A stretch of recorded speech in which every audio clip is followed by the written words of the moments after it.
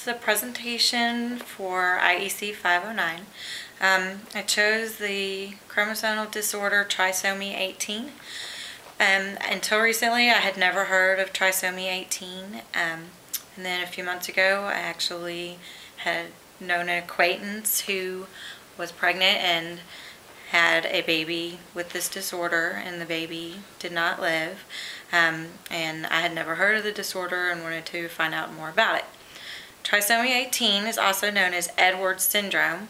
It's a rare chromosomal disorder, um, which is not genetic, which can be affected by maternal age, but is a result of faulty chromosome distribution, um, which is nothing that can be caused or prevented by the parents. Um, in a typically forming embryo, every chromosome exists in pairs throughout the cells, but in a trisomy, um, certain chromosome occurs three times rather than two. And there are several different kinds of trisomies that can occur. Um, the one that most people have heard of, which is pretty common, is trisomy 21, which is also known as Down syndrome. Um, trisomy 18, however, occurs about one in every 4,000 live births, but unfortunately, most babies don't survive to birth. And then, of those who are born alive, the majority of them will die within a few days.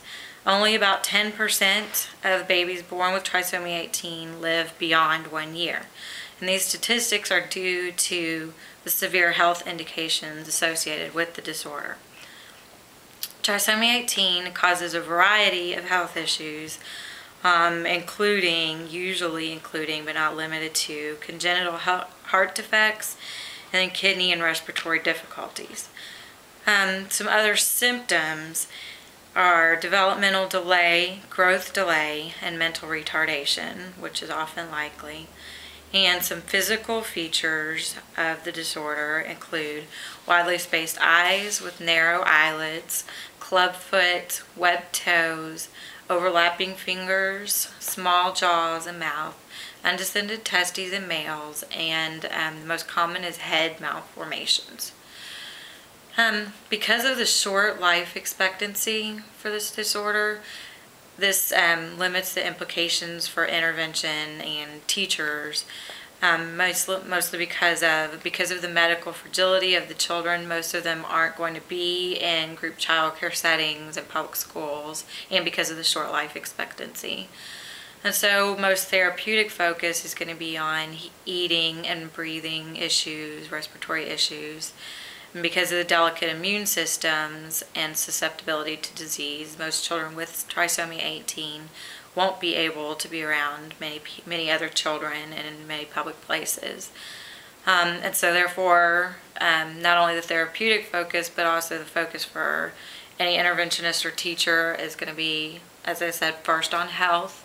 And then the second most important aspect would be on support for the parents and families. Um, as a resource, we as teachers and interventionists should focus on helping parents get things like parent support groups or find websites, um, maybe get respite care and any other services that the family might need.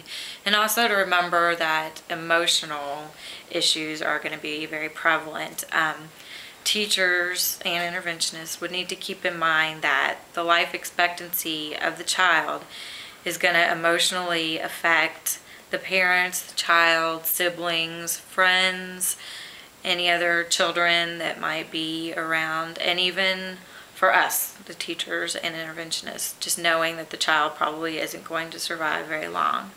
Um, and there are some children that have lived with trisomy 18 into up to their late teens. And actually, I found an article, a journal article about a woman, one woman in India who was confirmed to have trisomy 18, who has lived to be 52 years old. And the doctors and researchers um, just attribute this to the fact that she did not have any heart defects. She has a healthy heart. She has many of the other disabilities and um, symptoms associated with trisomy 18, but she had a healthy heart. So there is hope and um, as teachers and interventionists, we would have to remember that the best thing we can do is give support for the families and parents and to keep in mind the emotional fragility and the health fragility of the children. And that's it.